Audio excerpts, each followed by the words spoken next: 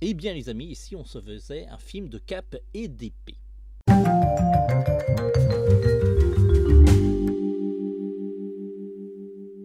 Hello les amis, j'espère que vous allez bien. Nous revoilà pour une critique ciné autour d'un film méga attendu par Pathé, peut-être plus que Astérix. Je parle des Trois Mousquetaires d'Artagnan premier film de deux films. Le second, ça sera Les Trois Mousquetaires Milady. Et donc, le film va sortir ce mercredi. On a eu la chance de voir le film en avant-première. En plus de cela, on a pu rencontrer les acteurs qui nous ont vendu un petit peu le film, vendu un petit peu aussi du rêve. Et euh, je vous avoue qu'ils nous ont quand même bien convaincus. Lorsqu'on regarde Rotten Tomatoes, on peut voir qu'il y a eu énormément de films des trois mousquetaires. Le roman d'Alexandre Dumas a été moult fois adapté avec plus ou moins de succès. En réalité, euh, il y a eu plus de booze que de films bons.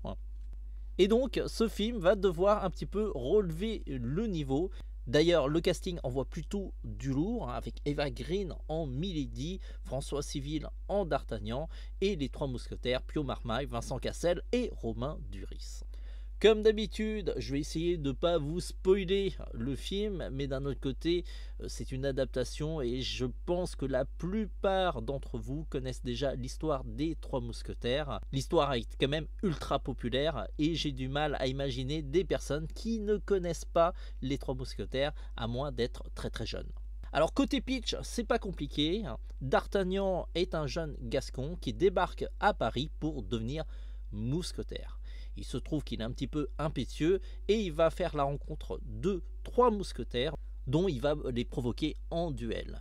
L'histoire aurait pu s'arrêter là et que D'Artagnan meurt très rapidement, mais voilà, ils vont se lier d'amitié pour le meilleur et pour le pire, et surtout pour sauver la France. Ce film est plutôt moderne, il s'accorde énormément de liberté. On peut commencer par les costumes hein, qui sont vraiment pas d'époque. Hein. Il y a beaucoup de cuir. Je suis pas sûr euh, qu'à l'époque il y avait autant de production de cuir. Il faudrait que Nota Bene se penche un petit peu sur le côté historique de ce film.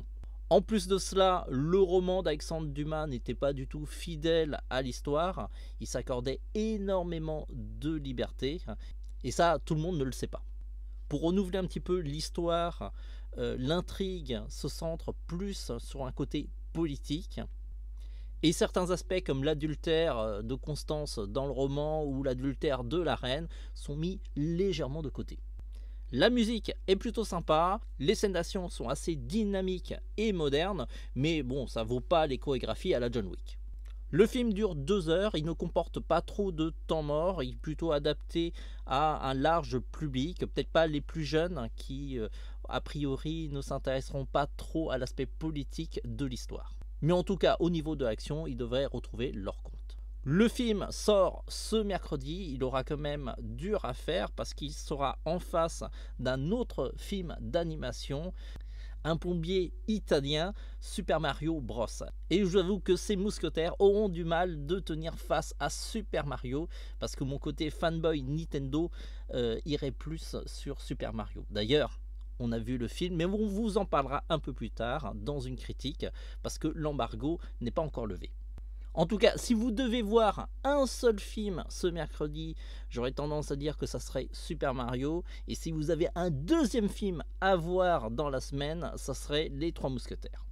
On lui donne la note de 4 sur 5. C'est plutôt un bon film qui inaugure une saga plutôt intéressante, sachant qu'il faut rester jusqu'à la fin du film parce qu'il y a une scène de post-générique, même si elle est un petit peu évidente, et on se doute un petit peu de ce qui va se passer, puisque le second film s'appelle Milady.